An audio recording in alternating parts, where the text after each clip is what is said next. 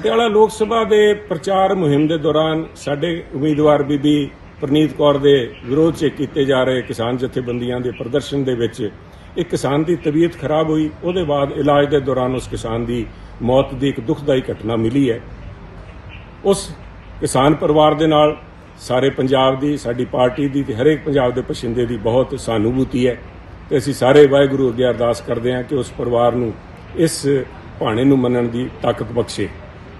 ਉੱਥੇ ਆ ਵੀ ਦੇਖਣ ਨੂੰ ਮਿਲਿਆ ਕਿ ਕੁਝ ਲੋਕਾਂ ਨੇ ਇਸ ਘਟਨਾ ਦਾ ਰਾਜਨੀਤਿਕ ਲਾਹਾ ਲੈਣ ਦੀ ਵੀ ਕੋਸ਼ਿਸ਼ ਕੀਤੀ ਤੇ ਪੁਲਿਸ ਦੇ ਧੱਕੇ ਮੁੱਕੇ ਨੂੰ ਉਸ ਕਿਸਾਨ ਦੀ ਤਬੀਅਤ ਵਿਗੜਨ ਦਾ ਕਾਰਨ ਦੱਸਿਆ। ਪਰੰਤੂ ਇੱਕ ਵੀਡੀਓ ਸਾਹਮਣੇ ਆਈ ਹੈ, ਉਹਦੇ ਵਿੱਚ ਸਾਰੀ ਗੱਲ ਸਥਿਤੀ ਸਪਸ਼ਟ ਦਿਖ- ਰਹੀ ਹੈ ਕਿ ਕਿਸ ਤਰ੍ਹਾਂ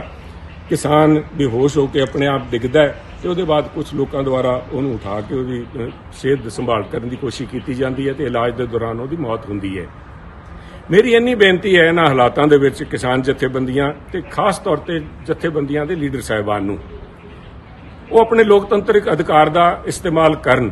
ਬੜੇ ਸੰਜਮ ਦੇ ਨਾਲ ਕਰਨ ਤੇ ਆਪਣੇ ਕਿਸਾਨ ਸਾਥੀਆਂ ਦੀ ਸਿਹਤ ਦਾ ਵੀ ਧਿਆਨ ਰੱਖ ਕੇ ਕਰਨ ਕਿਉਂਕਿ ਇਸ ਕਿਸਮ ਦੀ ਅਣਸੁਖਾਵੀ ਘਟਨਾ ਨਾ ਵਾਪਰੇ।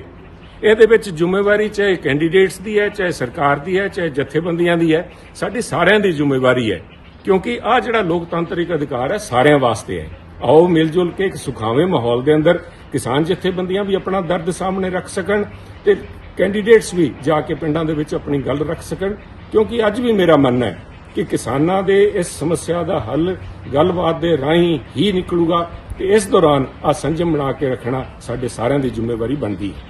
ਪਟਿਆਲਾ ਲੋਕ ਸਭਾ ਦੇ ਪ੍ਰਚਾਰ ਮੁਹਿੰਮ ਦੇ ਦੌਰਾਨ ਸਾਡੇ ਉਮੀਦਵਾਰ ਬੀਬੀ ਪ੍ਰਨੀਤ ਕੌਰ ਦੇ ਵਿਰੋਧ 'ਚ ਕੀਤੇ ਜਾ ਰਹੇ ਕਿਸਾਨ ਜਥੇਬੰਦੀਆਂ ਦੇ ਪ੍ਰਦਰਸ਼ਨ ਦੇ ਵਿੱਚ ਇੱਕ ਕਿਸਾਨ ਦੀ ਤਬੀਅਤ ਖਰਾਬ ਹੋਈ, ਉਹਦੇ ਬਾਅਦ ਇਲਾਜ ਦੇ ਦੌਰਾਨ ਉਸ ਕਿਸਾਨ ਦੀ ਮੌਤ ਦੀ ਇੱਕ ਦੁਖਦਾਈ ਘਟਨਾ ਮਿਲੀ ਹੈ। ਉਸ ਕਿਸਾਨ ਪਰਿਵਾਰ ਦੇ ਨਾਲ ਸਾਰੇ ਪੰਜਾਬ ਦੀ, ਸਾਡੀ ਪਾਰਟੀ ਦੀ ਤੇ ਹਰੇਕ ਪੰਜਾਬ ਦੇ ਪਛਿੰਦੇ ਦੀ ਬਹੁਤ ਸਾਨੂਭੂਤੀ ਹੈ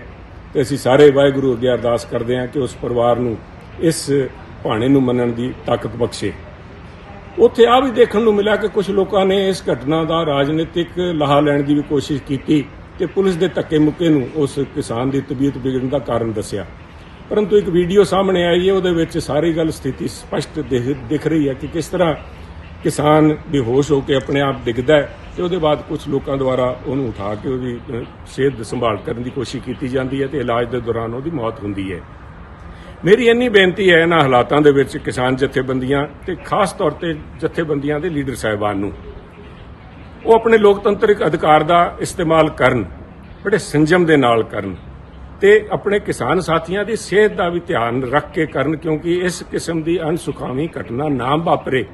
ਇਹਦੇ ਵਿੱਚ ਜ਼ਿੰਮੇਵਾਰੀ ਚਾਹੇ ਕੈਂਡੀਡੇਟਸ ਦੀ ਹੈ, ਚਾਹੇ ਸਰਕਾਰ ਦੀ ਹੈ, ਚਾਹੇ ਜਥੇਬੰਦੀਆਂ ਦੀ ਹੈ, ਸਾਡੀ ਸਾਰਿਆਂ ਦੀ ਜ਼ਿੰਮੇਵਾਰੀ ਹੈ ਕਿਉਂਕਿ ਆ ਜਿਹੜਾ ਲੋਕਤੰਤਰਿਕ ਅਧਿਕਾਰ ਹੈ, ਸਾਰਿਆਂ ਵਾਸਤੇ ਹੈ। ਆਓ ਮਿਲ ਜੁਲ ਕੇ ਇੱਕ ਸੁਖਾਵੇਂ ਮਾਹੌਲ ਦੇ ਅੰਦਰ ਕਿਸਾਨ ਜਥੇਬੰਦੀਆਂ ਵੀ ਆਪਣਾ ਦਰਦ ਸਾਹਮਣੇ ਰੱਖ ਸਕਣ ਤੇ ਕੈਂਡੀਡੇਟਸ ਵੀ ਜਾ ਕੇ ਪਿੰਡਾਂ ਦੇ ਵਿੱਚ ਆਪਣੀ ਗੱਲ ਰੱਖ ਸਕਣ, ਕਿਉਂਕਿ ਅੱਜ ਵੀ ਮੇਰਾ ਮੰਨਣਾ ਹੈ ਕਿ ਕਿਸਾਨਾਂ ਦੇ ਇਸ ਸਮੱਸਿਆ ਦਾ ਹੱਲ ਗੱਲਬਾਤ ਦੇ ਰਾਹੀਂ ਹੀ ਨਿਕਲੂਗਾ ਤੇ ਇਸ ਦੌਰਾਨ ਆ ਸੰਜਮ ਬਣਾ ਕੇ ਰੱਖਣਾ ਸਾਡੇ ਸਾਰਿਆਂ ਦੀ ਜ਼ਿੰਮੇਵਾਰੀ ਬਣਦੀ ਹੈ।